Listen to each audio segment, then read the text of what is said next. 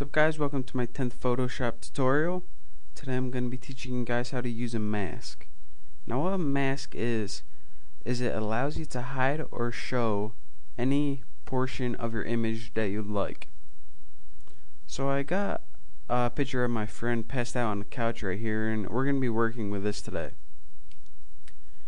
And let's say I wanted only to show him and not the background at all.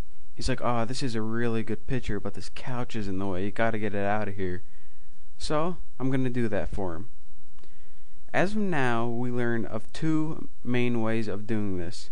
The quick selection tool, which you can see, went ahead and tried to select him.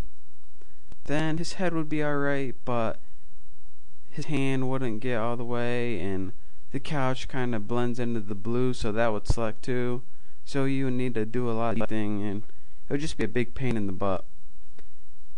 So you might be thinking, alright, just use your background eraser tool. Alright, we can do that. So say we're erasing along here, erasing the background, and we've done we've been erasing for a while, and we accidentally oh go into his body. To undo that, we would have to undo the whole thing, and just a huge pain in the butt to do. So, I got one more technique that is the best technique we've learned so far, and that is called a mask. Now, what a mask does is allow you to erase the background, but if you mess up, you can get any section if you want again. So, to do that, go ahead down here to your layers palette and highlight the layer you want to work on then click this little tool called Add Mask Layer. Now that we've added it, you can see this box pops up next to your image right here. This is your mask layer. Make sure that you're not around the image. A white square will pop up around it to let you know. So you want you want to be on this little white rectangle that shows that you're on the mask and you don't want to be painting on the image. So select your mask and then go over to your brushes and select just a typical paintbrush. And what this does is allow you to paint with black and white. Anytime you paint with black, it'll hide the section of the image you don't want to see. And anytime you paint with white, it'll make it appear again. So let's say we're painting with black right now, and as you can see, what it's doing is hiding the section of the image we don't want. So we would probably come over here and go along the edges and if you're doing this real for real then you might go a lot slower.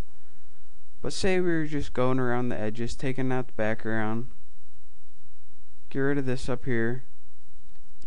And say we are taking out the background and whoops, we automatically went into a shirt. Well, here's all you need to do. Go down here and instead of black, just click white. And then it allows you to fix any part of the image you accidentally went over or want to show again. And as you see, as I'm painting with white, it's allowing me to bring back that section of the image that we want to see again.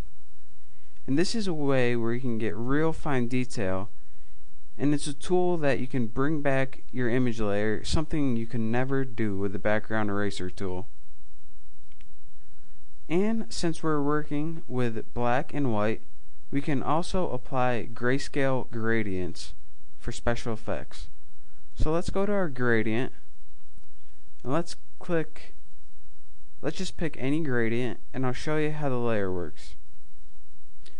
Let, let me get rid of this mask just drag it and drop it down in your recycling bin. And I'll get a whole new mask to show you guys how this works. So again, click add layer mask, make sure you're on the layer mask, go ahead, pick a gradient, and as you see, oops, when we apply this gradient, it also blocks out any of the image that we don't want to see using grayscale. Now this is a way where you can apply grayscale to your image for some special effects. Now that we've learned one of the best ways to extract part of our image, we're going to be talking next about how to use the extract filter. And if you missed anything I went over today, you can go to my website, thenewboston.com, and I'll have a step by step tutorial of everything we learned. Thank you.